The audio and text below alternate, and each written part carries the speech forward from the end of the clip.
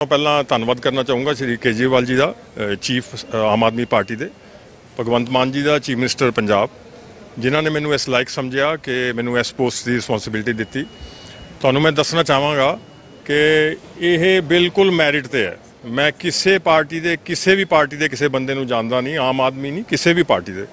ਸੋ ਇਹ credibility party ਦੀ ਹੈ, ਜਿਸ ਪਾਰਟੀ ਨੇ ਮੈਨੂੰ ਆਊਟ ਆਫ ਮੈਰਿਟ ਦੇ they thought that he is a person who can be picked up on merits I was called by the party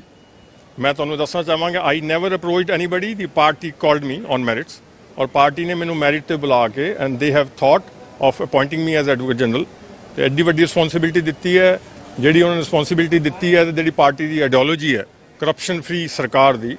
I will try to put forth that in the judiciary also ਔਰ ਜੋ policies ਜਿਹੜੀਆਂ ਹੈਗੀਆਂ party ਦੀਆਂ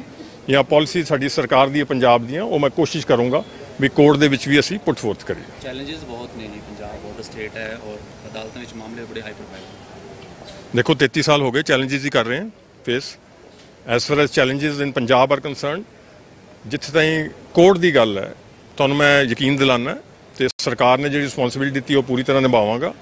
ਔਰ ਮੈਨੂੰ ਪਤਾ ਹੈ ਜੋ ਅੱਜ ਤਾਈਂ ਪਾਲਿਸੀਜ਼ ਹੋਈਆਂ ਜਿਹੜਾ ਡਿਸੀਜਨ ਹੋਏ ਹੈ they are up to mark and ਤੁਹਾਨੂੰ ਮੈਂ ਦੱਸਿਆ ਪਾਰਟੀ ਦੀ ਆਈਡੀਓਲੋਜੀ ਜਿਹੜੀ ਕਰਪਸ਼ਨ ਫ੍ਰੀ ਔਰ ਮੈਨੂੰ ਮੈਰਿਟ ਤੇ ਬੁਲਾਣਾ। ਤੁਸੀਂ ਪੁੱਛ ਸਕਦੇ ਹੋ ਕਿਸੇ ਨੂੰ ਹਾਈ ਕੋਰਟ 'ਚ ਕਿ ਮੈਨੂੰ ਸਿਰਫ ਉਹਨਾਂ ਨੇ ਮੈਰਿਟ ਤੇ ਐਡਵੋਕੇਟ ਜਨਰਲ ਬਣਾਇਆ ਤੇ ਮੈਂ ਕੋਸ਼ਿਸ਼ ਕਰੂੰਗਾ ਕਿ ਦੋਨਾਂ ਦਾ ਕੇਜਰੀਵਾਲ ਜੀ ਦਾ ਤੇ ਭਗਵੰਤ ਮਾਨ ਜੀ ਨੇ ਜਿਹੜਾ ਮੇਰੇ ਤੇ ਰਿਪੋਜ਼ ਕੀਤਾ ਕੌਨਫੀਡੈਂਸ ਉੱਤੇ ਪੂਰਾ ਉਤਰ।